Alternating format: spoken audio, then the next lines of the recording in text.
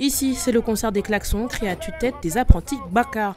Un Ivoirien sur trois dit être agressé au quotidien par les nuisances extérieures. C'est le cas de Sindou Bamba, enseignant au lycée Nangri à Brobrois. Quant à Issoufou Ouattara, lui habite à 50 mètres de la gare routière d'Adjamé et ces nuisances mettent à mal son quotidien. Les gens sonores nous empêchent d'étudier, de se reposer la journée pour mieux reprendre la forme pour étudier la nuit. Ces mêmes nuisances sonores nous empêchent de dormir tard dans la nuit.